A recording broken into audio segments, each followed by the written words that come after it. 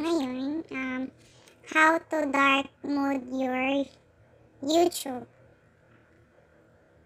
Punta tayo dito sa settings, guys. Yan. Punta tayo sa settings.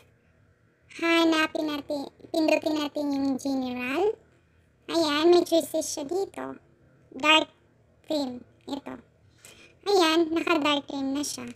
Ito siya guys, um, maganda to siya para hindi po nakakasira sa mata kung nag-YouTube kayo every night. Kasi mostly ngayon, as a vlogger guys, iba minsan puyatan tayo kahit gabi, hala, dut-dut pa rin sa ano, sa YouTube, dut-dut pa rin kahit ano,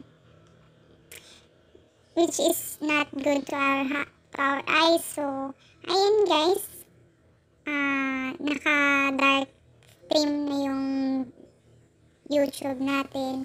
Hindi na siya masakit sa mata. Ayan. Maitim na siya guys. Naka-dark mode na siya. Naka-dark mode na. I hope this one, it will help a lot to everyone. Especially kung may ano kayo sa mata. At saka, it save also the battery of our phone. So guys, ayan na siya guys, 'di ba? Naka-dark na naka-dark theme na siya. I hope this one it will help a lot to everyone watching this short video about how to dark mode your YouTube.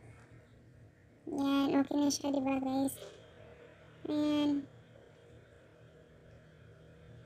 Kung gusto niyo naman, kung ayun na naman yung i-dark mode ulit, so, yan, balik, balik na kayo sa general ulit, tapos pindutin niyo yung dark theme.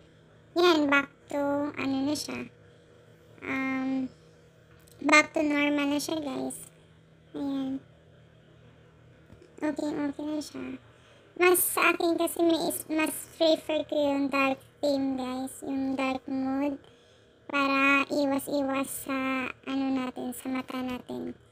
Para hindi nakakasira sa mata lalo na paggabi. So, thank you so much for watching my video. Thank you. God bless everyone.